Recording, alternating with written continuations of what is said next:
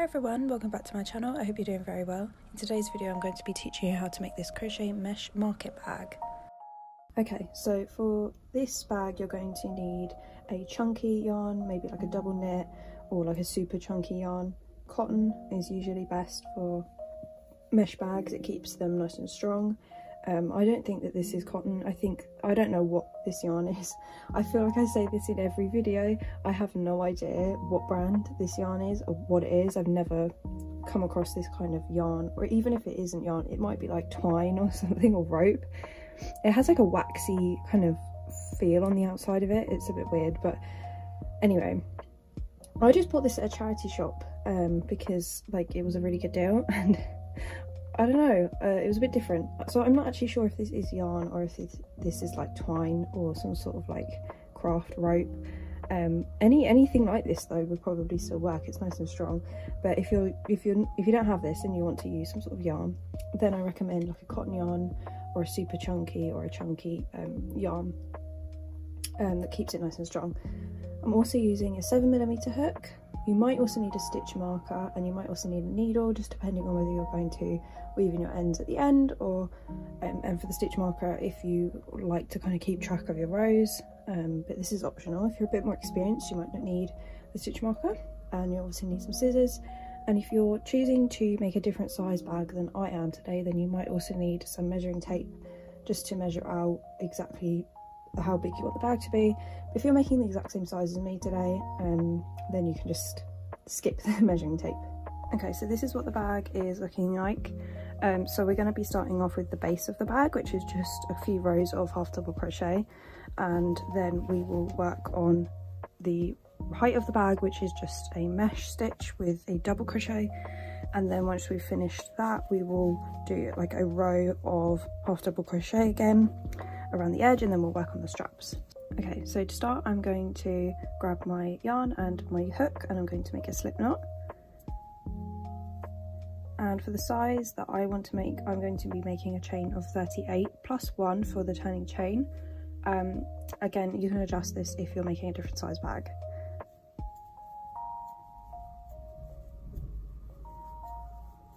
Once you have your chain, I'm going to then make a half double crochet into the back bump of the second chain. And then I'm going to make a half double crochet into the back bump of each chain across.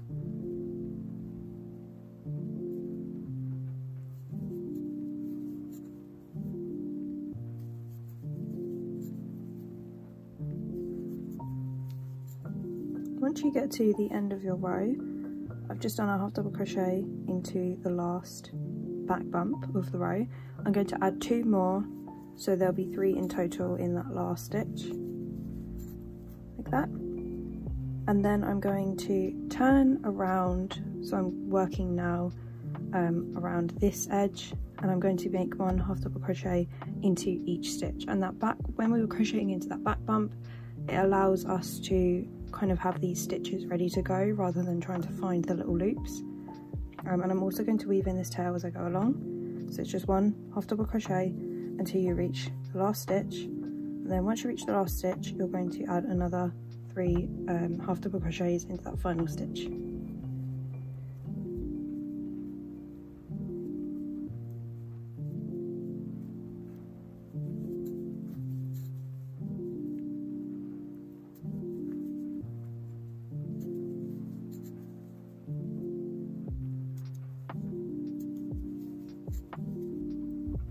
So I've just reached the last stitch of the round.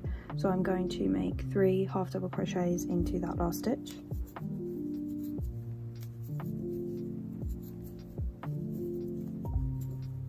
Okay, and then I'm going to place my stitch marker here because that is the end of the round one.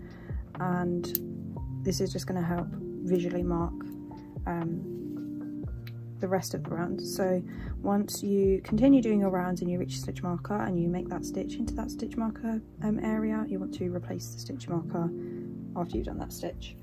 Um, so for round two, it's literally just going to be one half double crochet into each stitch all the way around, and then obviously one half double crochet in this stitch and then replace the stitch marker.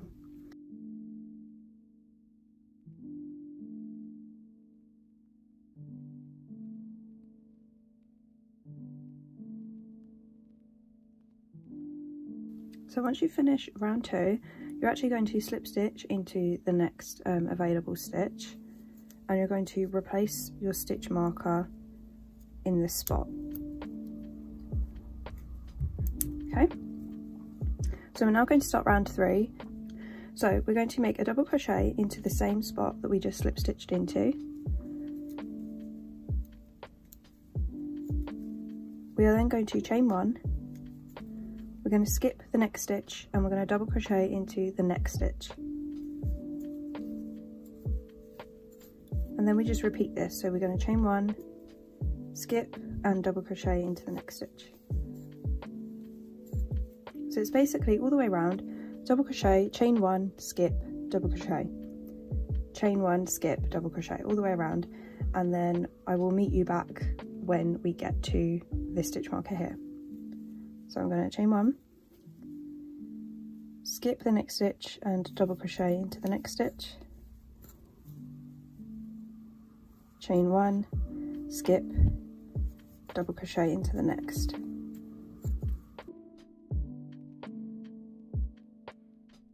So I've just done um, one of the last double crochets of the round. So as you can see here, I've got a space here that I'm going to skip and then I'm going to make a double crochet into that last stitch. So I'm going to chain one, skip and double crochet into last stitch. I'm going to replace the stitch marker here and from now on we're going to only be repeating round four until we reach the height of the bag.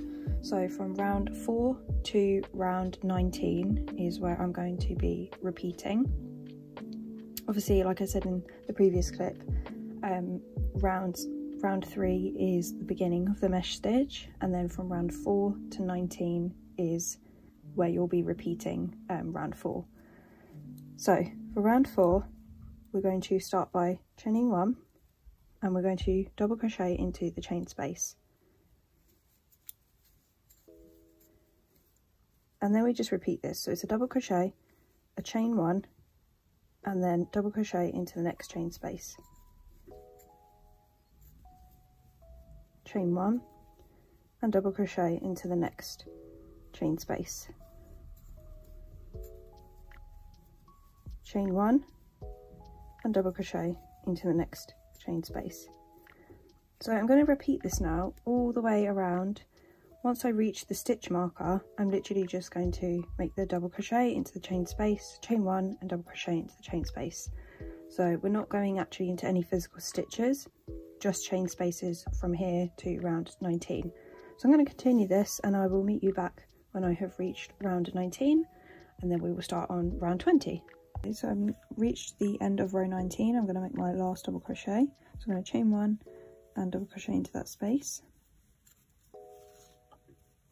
I'm going to chain one and I'm going to slip stitch into that chain. So not the chain space, but the actual chain. So I'll show you up close, actually into that chain. We're now going to do a row of half double crochet. So I'm going to take out the stitch marker and I'm going to chain one and I'm going to start a new row. So basically I'm going to make one half double crochet into each stitch and where I see a chain I'm going to make it into that chain I'm not going to make it in to the chain space like actually in the space. I'm going to make it in the actual chain. So I've just chained one. I'm going to half double crochet in the exact same spot. And I'm going to place my stitch marker here just so I can mark the beginning of the round. And then I'm going to half double crochet into the double crochet. And then I'm going to half double crochet into that chain.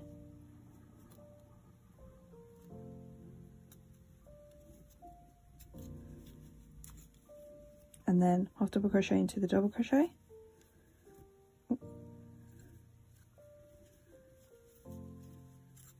And half double crochet into the chain. So I'm going to repeat this now all the way around and then when I come back to the stitch marker I will show you what the next step is. Okay so I've just done the last half double crochet of the round and I'm now going to slip stitch back into where the stitch marker is, the, the, half double crochet that we just made uh, at the beginning. So slip stitch and then it's nice and neat. And then I'm just going to chain one and cut the yarn.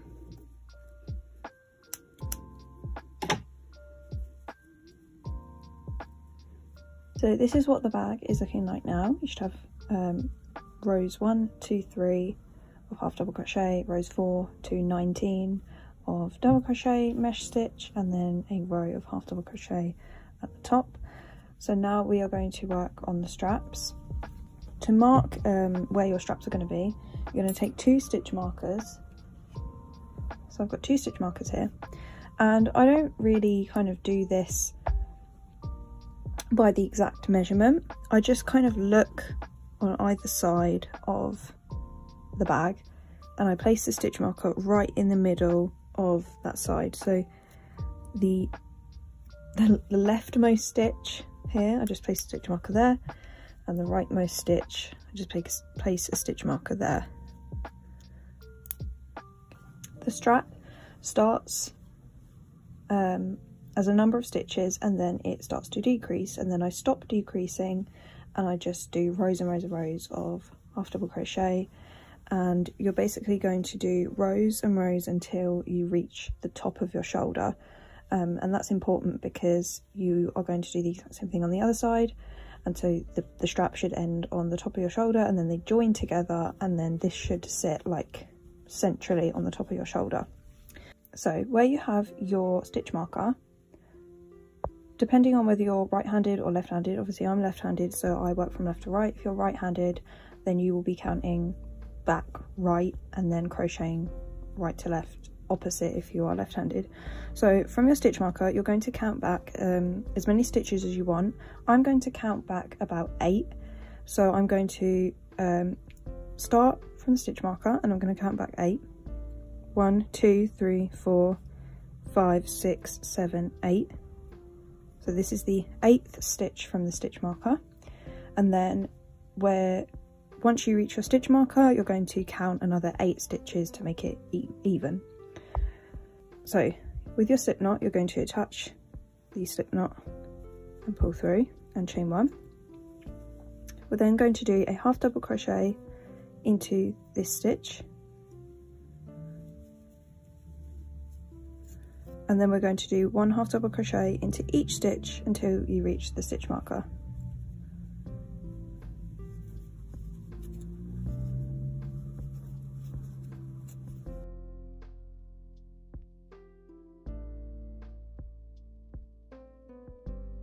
So I've reached the stitch marker and I'm now going to be crocheting another eight stitches um, along.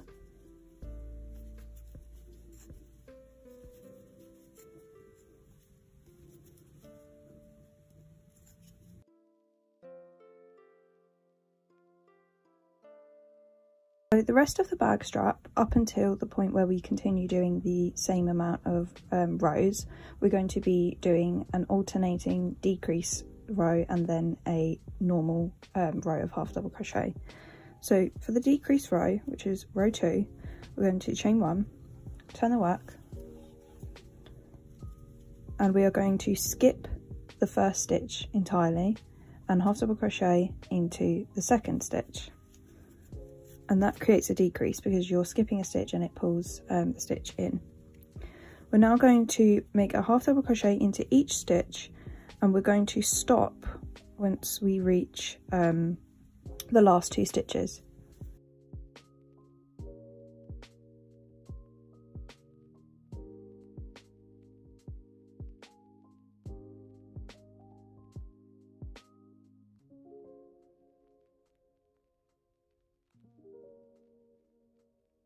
So I've just reached the last two stitches of the row. So to decrease uh, on this stitch, we're going to skip the next stitch and half double crochet into the last stitch. Like that. Okay.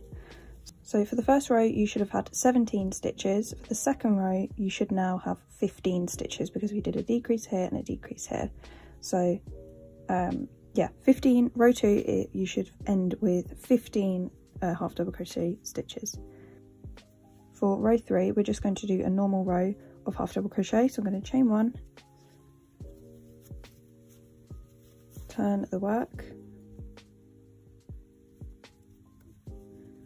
and before we skipped the first stitch and did a half double crochet into the next, but we are going to do a normal row, so we're going to just half double crochet into that first, and then into each stitch along. So no decreases for row three.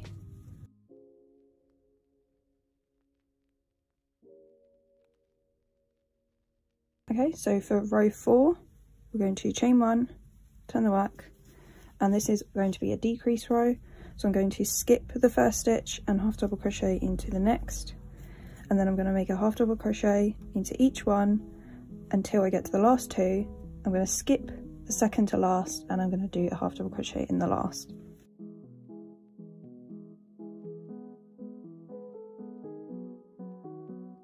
Okay, skip that one and a half double crochet into the last stitch. Okay, so again we've decreased by two, so you should now have 13 stitches at the end of this row. I'm now going to continue alternating. Um, next row will be a normal row, the row after that a decrease row, until I am left with nine stitches in my row. Okay, so I've just finished my last row. I now have nine stitches in the row. So from this point forward until I reach the top of my shoulder, I'm going to just be doing rows of half double crochet. Um, but if you obviously want a shorter strap or a longer strap, you just keep doing as many rows as you want. Um, and then once you have finished that, you want to fasten off and leave a long tail for sewing.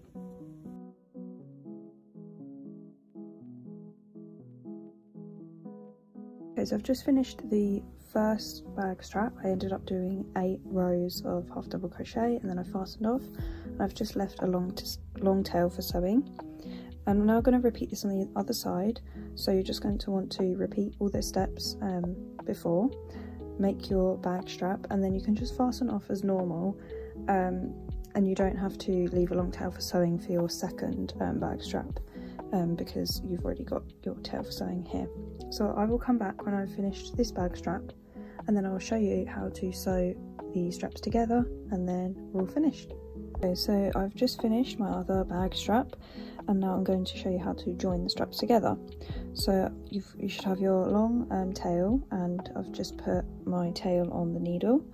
So I'm going to be sewing um, from the back because then that way it's all nice and hidden. So I'm actually going to hold the straps together on the right side.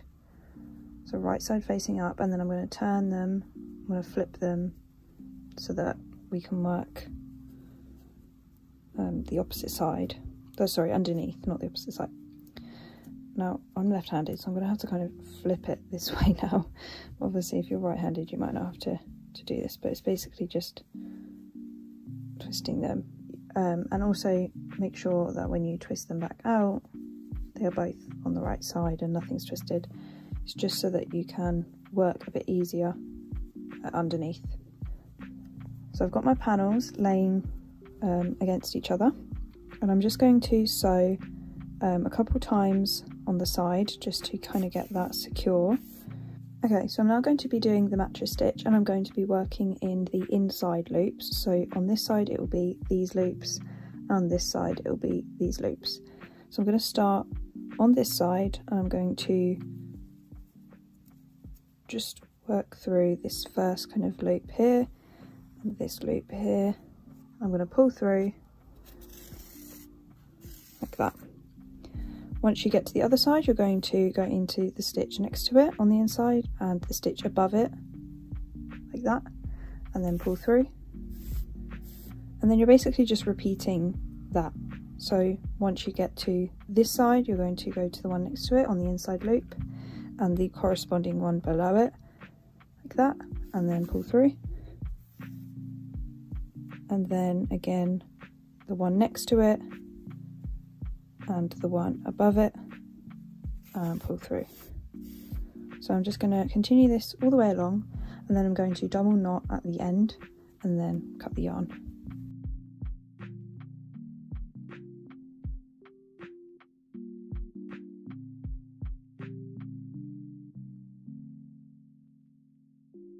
Once I reach the end, obviously as you can see, even though the last stitches are here, it's kind of a bit uneven. So I'm going to do the exact same thing that I did to the other side where I just looped around the edges a few times just to make that a bit more even. So I'm just going to go into a side loop here and a side loop down here and pull through.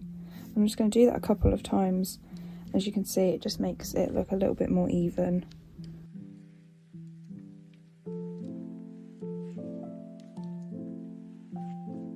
Okay, as you can see, that is nice and straight now.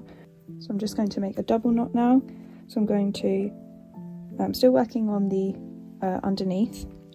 I'm just going to take the needle through a few loops like that and I'm going to pull through and leave a loop right at the end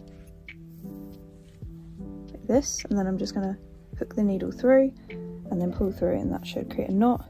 You can do this as many times as you want to make sure that it's secure. I'm just going to do it twice because this yarn is pretty pretty tough. Okay, I'm just going to pull that tight like that and then you can just cut cut the yarn nice and close and there is your mattress stitch and it's nice and neat on both sides as you can see so that is the bag all done i'm just going to take off these stitch markers and then i'll show you how it's looking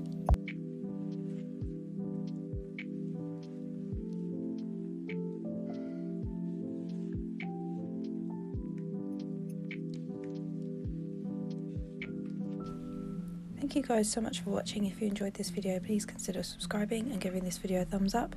And if you have any ideas of what you'd like me to make next, feel free to leave them in the comments below and I will see you in the next one. Bye guys!